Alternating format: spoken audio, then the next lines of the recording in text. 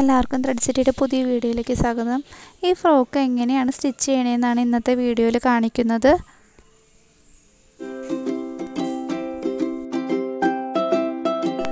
അപ്പോൾ നിങ്ങൾ ആദ്യമായിട്ടാണ് ഈ വീഡിയോ കാണുന്നതെങ്കിൽ ഈ ചാനലൊന്ന് സബ്സ്ക്രൈബ് ചെയ്യുക അടുത്തുള്ള ബെൽ ബട്ടൺ എനേബിൾ ആക്കുക. ഇത് കഴിഞ്ഞ വീഡിയോയിൽ കട്ട് ചെയ്ത് വെച്ച ഭാഗങ്ങളാണ്. ഇത് മുകളിലേക്ക് വേണ്ടിയിട്ട് കട്ട് ചെയ്ത് വെച്ച പീസും ഇത് താഴേക്കുള്ള പീസാണ് നമ്മൾ ഉടുപ്പിന്റെ താഴ്ഭാഗത്തേക്ക് വരുന്ന തുണിയാണിത്. ലൈനിങ്ങും ഞാൻ ഒപ്പം വെട്ടി വെച്ചിട്ടുണ്ട്. പിന്നെ നമ്മൾ മുകളിലേക്കുള്ള രണ്ട് പീസ് കട്ട് ചെയ്തിട്ടുണ്ടായിരുന്നു. ബോഡിയുടെ ഭാഗത്തേക്ക്. പിന്നെ അത് കഴുത്ത് ഡിസൈൻ ചെയ്യാൻ ഒരു സാരിയുടെ തന്നെയായിരുന്നു. അപ്പോൾ അതിന്റെ ഒരു പട്ട വീതി കുറഞ്ഞ പട്ടയുടെ ഭാഗം കഴുത്ത് ഡിസൈനും ചെയ്യാൻ വേണ്ടി ഞാൻ കട്ട് ചെയ്തിട്ടുണ്ട്. ഇനി നമുക്കിത് എങ്ങനെ സ്റ്റിച്ച് ചെയ്യണമെന്ന് നോക്കാം. ആദ്യം തന്നെ ഞാൻ ബാക്കിലെ ബോഡിയുടെ പീസ് എടുത്തിട്ടുണ്ട്. ലൈനിങ് ആണിത്. ലൈനിങ് ഞാൻ നിവർത്തി വെക്കുന്നു. അതിന്റെ മീതിയായിട്ട് നല്ല ക്ലോത്തും ഞാൻ നിവർത്തി വെക്കുന്നു. അതിനുശേഷം അതിന്റെ സെന്റർ ഭാഗത്ത് നമ്മൾ സിബ് വയ്ക്കാനാണ് ഉദ്ദേശിക്കുന്നത് അപ്പോൾ സെന്റർ ഭാഗം പതിയൊന്ന് മടക്കി തയ്ക്കാം. അപ്പോൾ ഞാൻ വേറെ എക്സ്ട്രാ തുണിയൊന്നും വെച്ചിട്ട് മടക്കി തയ്ക്കുന്നില്ല. ഇത് തന്നെ സാധാരണ പോലെ മടക്കി തയ്ക്കുകയാണ് ചെയ്യുന്നത്. എങ്ങനെയാണെന്ന് കാണിക്കാം. ലൈനിങ്ങും കൂടി ചേർത്ത് വെച്ച ശേഷം ഇതുപോലെ ഒരു പ്രാവശ്യം മടക്കുക. പിന്നെ ഒന്നും കൂടി മടക്കുക. അപ്പം ഞാനിത് തെറ്റിപ്പോവാതിരിക്കാൻ വേണ്ടിയിട്ട് പിൻ ചെയ്ത് വെക്കുന്നുണ്ട്. പിന്ന് യൂസ് ചെയ്തിട്ട് അതിന്റെ സെന്റർ ഭാഗത്ത് ഞാനൊന്ന് കുത്തി കൊടുക്കുന്നുണ്ട്.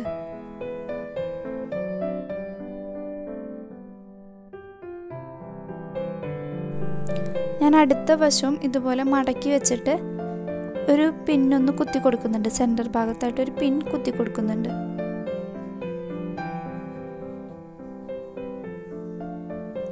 ഇനി നമുക്ക് ഇതിൽ നിന്ന് തയ്ച്ചെടുക്കണം. ഇതേപോലെ തന്നെ സ്ട്രെയിറ്റ് ലൈൻ സ്റ്റിച്ചങ്ങ് കൊടുക്കണം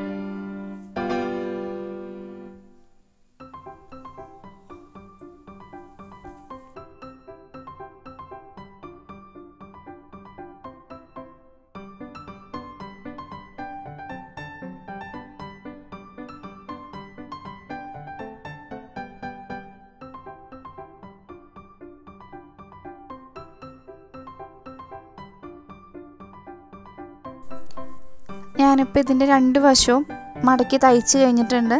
ഇനി ഇതിന്റെ മുകളിലായിട്ട് നല്ല വശം വെച്ചിട്ട് അതിന്റെ മുകളിലായിട്ട് നമ്മുടെ ഫ്രണ്ട് ബോഡി അതായത് മുൻവശത്തെ ആ ബോഡിയുടെ ഭാഗം നമ്മൾ കട്ട് ചെയ്ത് വെച്ചിരുന്ന ഭാഗം അത് ഇതിന്റെ മീതെ വെച്ച് കൊടുക്കണം. അപ്പോൾ ആദ്യം ഞാൻ നല്ല ക്ലോത്തിന്റെ നല്ല വശം വെച്ച് കൊടുക്കുന്നു. അതിന് താഴെയായിട്ട് അതിന്റെ മുകളിൽ ആ അത് ആ വെച്ചേക്കുന്ന പീസിന്റെ മുകളിലായിട്ട് ലൈനിങ്ങിന്റെ ഭാഗവും വെച്ച് കൊടുക്കുന്നു.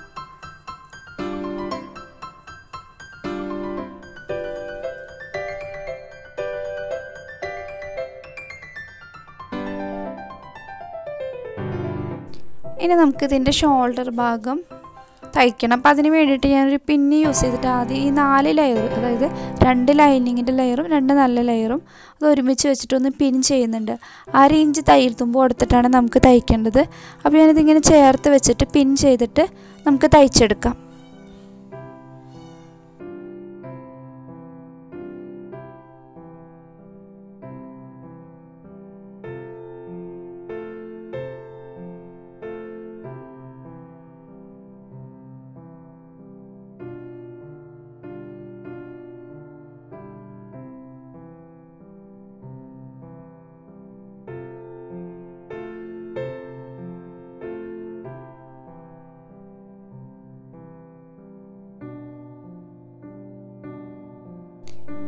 ഇപ്പോൾ നമ്മൾ രണ്ട് ഷോൾഡറും സ്റ്റിച്ച് ചെയ്ത് കഴിഞ്ഞിട്ടുണ്ട്.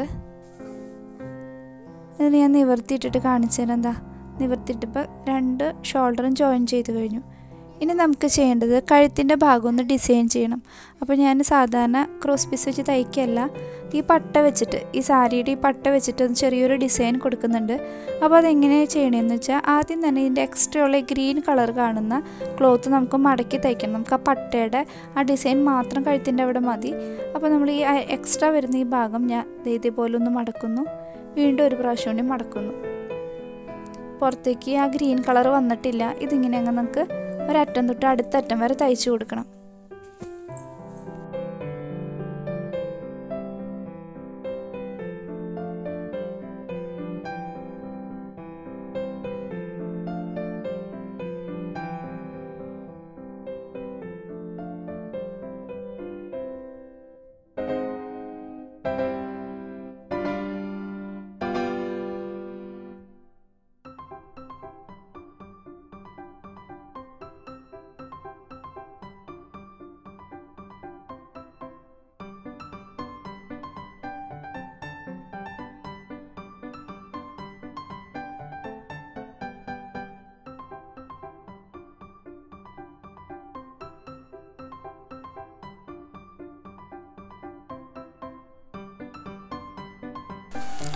അപ്പോൾ ഞാൻ ഇതിന്റെ ഫുൾ ഭാഗം ഒന്ന് തയ്ച്ച് കൊടുത്തിട്ടുണ്ട്. ഇപ്പോൾ നമുക്ക് ആ ഡിസൈനുള്ള പട്ട മാത്രം കിട്ടിയിട്ടുണ്ട്. ഇനി ഇതിൽ നമുക്ക് ചെറിയ ചെറിയ ഫ്ലീറ്റുകൾ ഇട്ട് കൊടുക്കണം. കഴുത്തിന്റെ ഭാഗത്ത് വയ്ക്കാൻ വേണ്ടി ഇതാ ഇതുപോലെ ചെറിയ ചെറിയ ഫ്ലീറ്റുകൾ ഇട്ട് കൊടുക്കണം. അപ്പോൾ അതെങ്ങനെ ഇടണേന്ന് വെച്ചിട്ടുണ്ടെങ്കിൽ ഇവിടെ ആദ്യം ചെറിയ നമ്മൾ മുൻപേ പിൻ ചെയ്ത് വെക്കണമെന്നില്ല. ചെറിയ ചെറിയ ഫ്ലീറ്റുകൾ തയ്ക്കണതിന്റെ ഒപ്പം തന്നെ ഇട്ട് കൊടുത്താൽ മതി.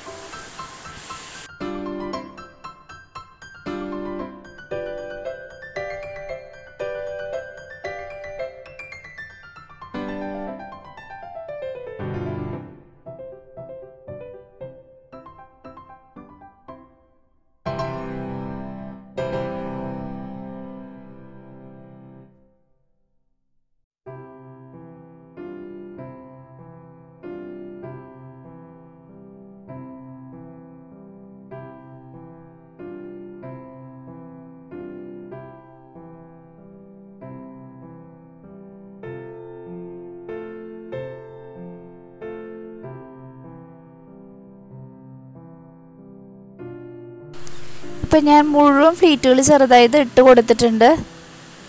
ഇനി നമുക്കിത് കഴുത്തിനോട് ചേർത്ത് തയ്ച്ചെടുക്കണം. അപ്പോൾ ഞാൻ ഏറ്റവും പുറകിൽ സിബ് വെക്കുന്ന പോയിന്റ് തൊട്ടിട്ട് തയ്ച്ച് പോരുന്നുണ്ട്. നിവർത്തി വെച്ചിട്ട് രണ്ടും ഒപ്പം വെച്ച് കൊടുക്കുന്നു. എന്നിട്ട് സാധാരണ പോലെ അങ്ങ് ഒരു കാലിഞ്ച് തയ്യെടുത്തുമ്പോൾ തുമ്പ് മാത്രമേ ഞാൻ ഇടുന്നുള്ളൂ. എന്നിട്ട് ഒരറ്റം തൊട്ടിട്ട് അടുത്ത അറ്റം വരെ തയ്ച്ച് പോകുന്നുണ്ട്.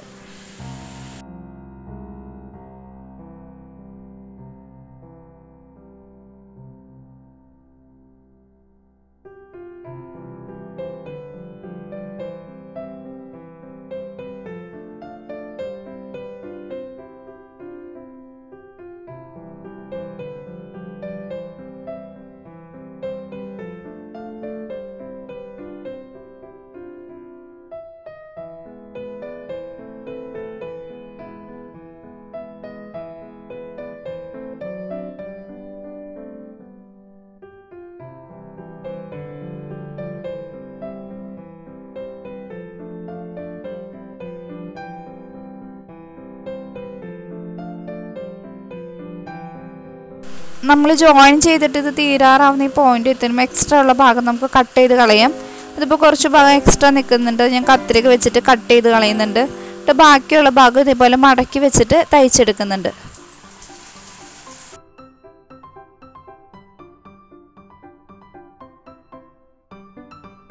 ഇപ്പോൾ കഴുത്തിൽ നമ്മൾ ആ ഡിസൈൻ ചെയ്ത പീസ് അറ്റാച്ച് ചെയ്തിട്ടുണ്ട്. ഇനി നമുക്ക് ഇതിന്റെ തേര് ഭാഗമൊക്കെ നമുക്ക് കാണാൻ പറ്റുന്നുണ്ട്. അപ്പോൾ നമുക്ക് മറ്റൊരു ക്രോസ് പീസ് യൂസ് ചെയ്തിട്ട് ഇതൊന്ന് തയ്ച്ചിട്ട് മടക്കി തയ്ക്കണം. അപ്പോൾ ഞാൻ ക്രോസ് പീസിന്റെ നല്ല വശം ഇതിനോട് ചേർത്ത് വെക്കുന്നു.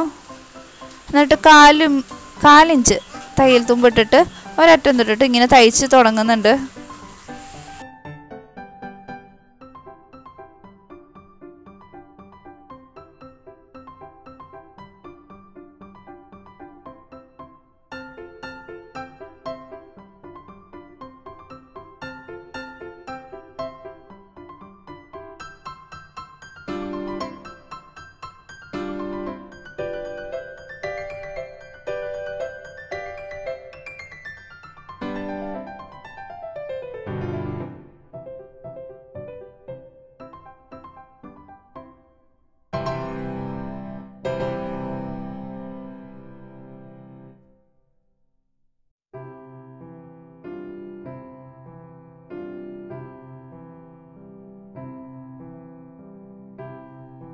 ക്രോസ് പീസ് അറ്റാച്ച് ചെയ്തിട്ട് ഇത് കഴിയാറാവുമ്പം എക്സ്ട്രാ ഉള്ള ക്രോസ് പീസ് നമുക്ക് നേരത്തെ ചെയ്ത പോലെ തന്നെ കട്ട് ചെയ്ത് കളയാം.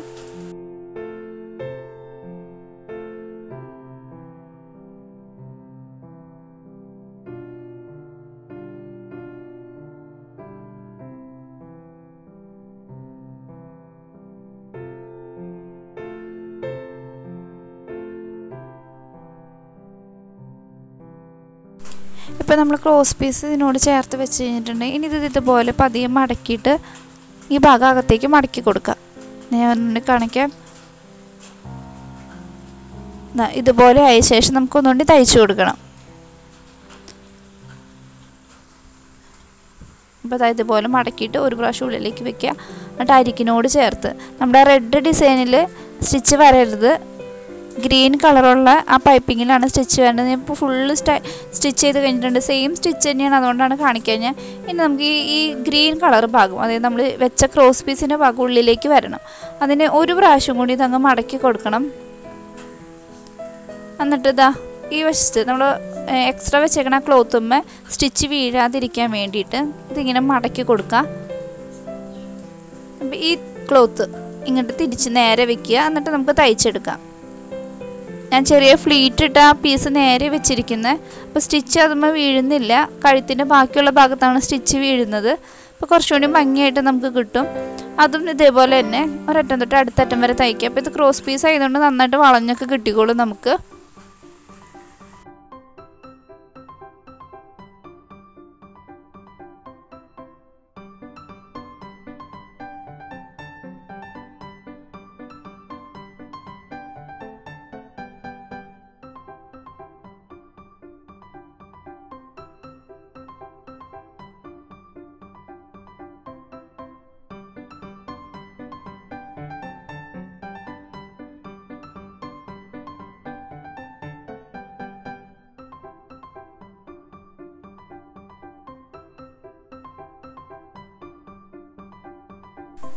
ഇപ്പം നമ്മുടെ കഴുത്തിന്റെ ഫുൾ സ്റ്റിച്ചിങ് കഴിഞ്ഞിട്ടുണ്ട്.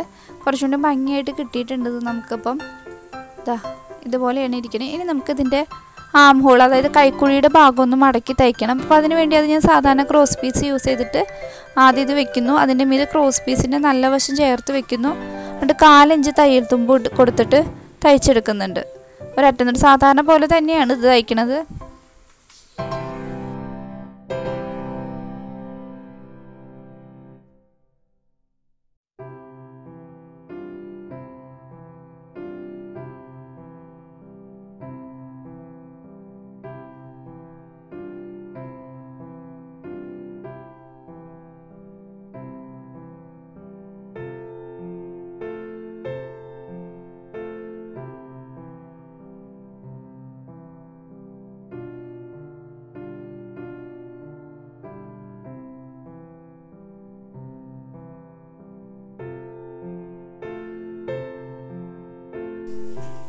ക്രോസ് പീസ് നമ്മളിങ്ങനെ ചേർത്ത് വെച്ച് തയ്ച്ച ശേഷം എക്സ്ട്രാ ഉള്ള ക്രോസ് പീസ് നമുക്ക് കട്ട് ചെയ്ത് കളയാം.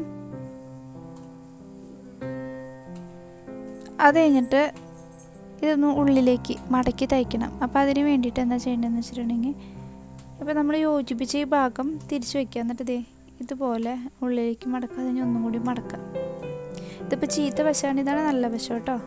പുറകിൽ കാണുന്ന നല്ല വശം നമ്മൾ പുറകിലേക്ക് ഇത് ഇതുപോലെ മടക്കി പിടിച്ചിട്ട് ഒരറ്റം തൊട്ട് അടുത്തറ്റം വരെ ഇത് കട്ടിങ് ഒന്നും കൊടുക്കേണ്ട ആവശ്യമില്ല. കാരണം നമ്മുടെ ക്രോസ് പീസാണ് മടങ്ങി പോകുക അല്ലാതെ നമ്മുടെ ഒറിജിനൽ ആം ഹോളിന്റെ ഭാഗം മടങ്ങുന്നില്ല. അപ്പോൾ ഇതിങ്ങനെ വെച്ചിട്ട് ഒരറ്റം തൊട്ടിട്ട് അടുത്തറ്റം വരെ തയ്ച്ചെടുക്കണം.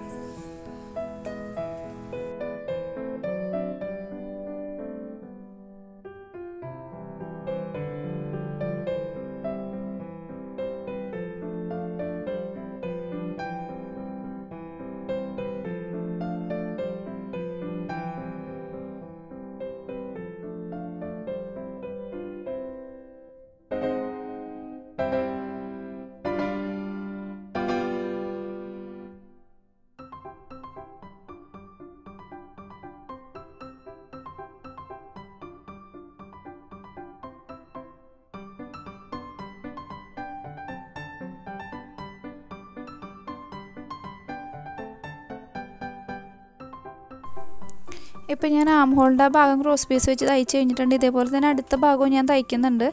സെയിം രീതി തന്നെയാണ് ഞാൻ കാണിക്കുന്നില്ല അത് അതുകൊണ്ട്. ഇപ്പം നമ്മുടെ സ്റ്റിച്ചിങ് രണ്ട് സൈഡിൽ ആം ഹോളും സ്റ്റിച്ച് ചെയ്ത് കഴിഞ്ഞു. കഴുത്തിന്റെ ഭാഗവും സ്റ്റിച്ച് ചെയ്ത് കഴിഞ്ഞു.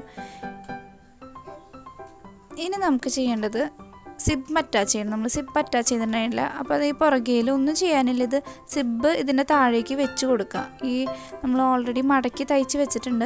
അതിന്റെ താഴേക്ക് സിബ് വെച്ചിട്ട് രണ്ട് സൈഡിലും ചേർത്ത് വെച്ചിട്ട് ഇതാ ഇതേപോലെ തയ്ച്ചെടുക്കണം. അപ്പോൾ ഞാൻ സിബും തയ്ച്ചെടുത്തിട്ടുണ്ട്. എക്സ്ട്രാ ഉള്ള നൂലൊക്കെ കട്ട് ചെയ്ത് കളഞ്ഞിട്ടുണ്ട്.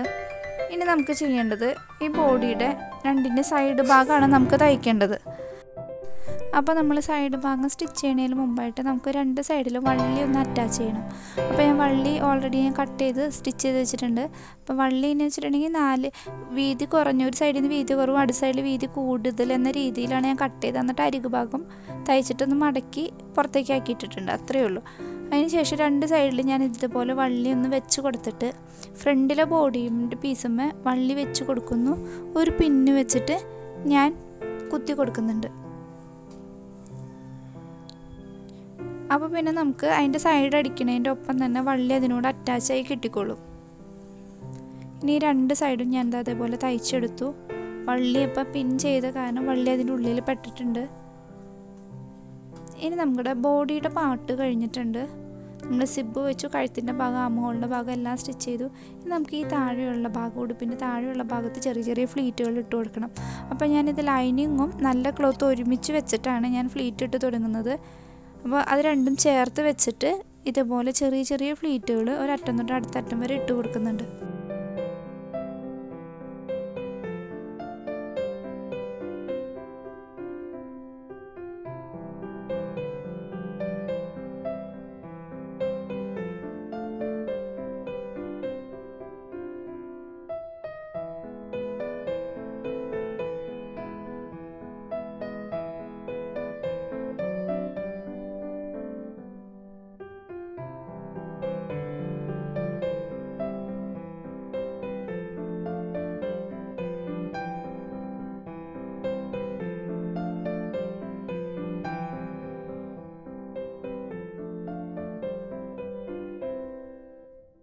ഫുൾ ഫ്ലീറ്റ് ഇട്ട് കൊടുത്തിട്ടുണ്ട്.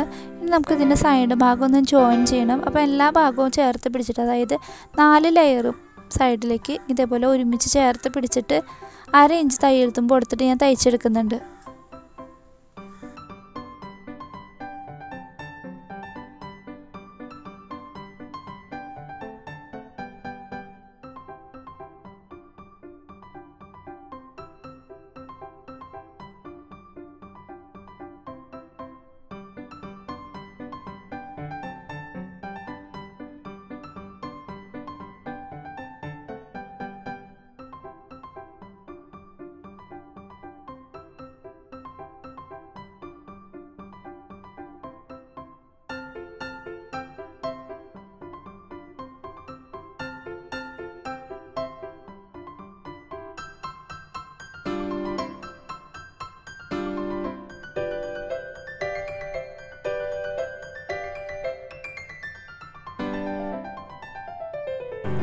ഇപ്പം നമ്മുടെ താഴെയുള്ള ഭാഗം തയ്ച്ച് കഴിഞ്ഞിട്ടുണ്ട്. ഫ്രോക്കിന്റെ താഴെയുള്ള ഭാഗം തയ്ച്ച് കഴിഞ്ഞിട്ടുണ്ട്. ബോഡിയുടെ ഭാഗവും തയ്ച്ച് കഴിഞ്ഞിട്ടുണ്ട്. ഇനി നമുക്ക് നമുക്കിത് രണ്ടൊന്നും യോജിപ്പിക്കും കൂടി ചെയ്ത് കഴിഞ്ഞിട്ടുണ്ടെങ്കിൽ നമ്മുടെ ഫ്രോക്കിന്റെ സ്റ്റിച്ചിങ് കഴിയും.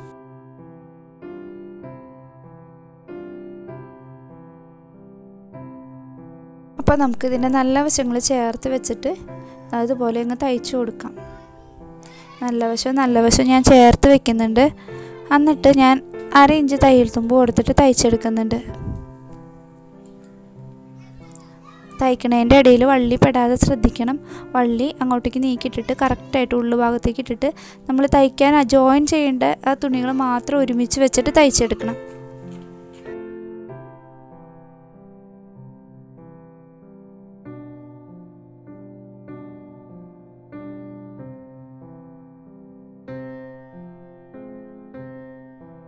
നമ്മുടെ ബോഡിയുടെ ഭാഗവും താഴെയുള്ള ഭാഗവും ജോയിൻ ചെയ്ത് കഴിഞ്ഞിട്ടുണ്ട്. ഫ്രോക്കിന്റെ കംപ്ലീറ്റ് സ്റ്റിച്ചിങ് കഴിഞ്ഞിട്ടുണ്ട്. ഇപ്പം നമുക്ക് താഴെയുള്ള ഏറ്റവും താഴെയുള്ള ഭാഗം ഞാൻ മടക്കി തയ്ച്ചിട്ടില്ല തേര് വന്നകാനം ഇതാണ് ഇപ്പോൾ നമ്മുടെ അവസാനം ഫ്രോക്കിന്റെ രൂപീകരിക്കുന്നത്. നമ്മൾ സാരിയുടെ തുണി കൊണ്ട് തന്നെയാണ് തയ്ച്ചിരിക്കുന്നത് തയ്ക്കാൻ നമുക്കൊരു ഒരു മീറ്റർ തുണിയൊക്കെ ആയിരുന്നു ആവശ്യം വന്നിരുന്നത്. കഴുത്തിന്റെ ഭാഗം നമ്മൾ ചെറിയൊരു ഡിസൈൻ കൊടുത്തിട്ടുണ്ട്. രണ്ട് സൈഡിൽ വള്ളിയും വെച്ചിട്ടുണ്ട്. അപ്പോൾ നിങ്ങൾക്കിത് മനസ്സിലായി ഇഷ്ടമായിരുന്നുണ്ടെങ്കിൽ വീഡിയോ ലൈക്ക് ചെയ്യുക ഷെയർ ചെയ്യുക. ചാനൽ സബ്സ്ക്രൈബ് ചെയ്യുക.